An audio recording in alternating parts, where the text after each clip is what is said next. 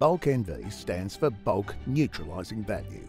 This is a measure of the potential of the lime sand to neutralise the acid in the soil. Put simply, the higher the lime content per load, the more effective at neutralising acid in the load, the higher the bulk NV rating. Let's take an example. A company with a bulk NV of 94.7% versus a company with a bulk NV of 90.9%. In a standard 60 tonne load, there is 2.2 tonnes more of calcium carbonate, the active component of lime, being carted. So we've established that high bulk NV rating means you are getting a good load of pH neutralising lime in your load.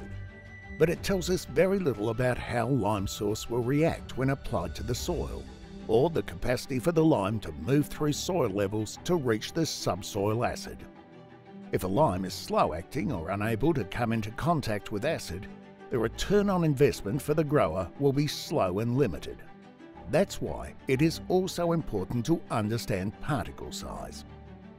The size of lime sand particles relate to how quickly the lime source might work for two reasons. Firstly, finer particles permeate more readily into the soil profile. This means they reach and resolve acidity deeper in the soil profile. Secondly, finer particles have higher surface area. This means they work with more speed.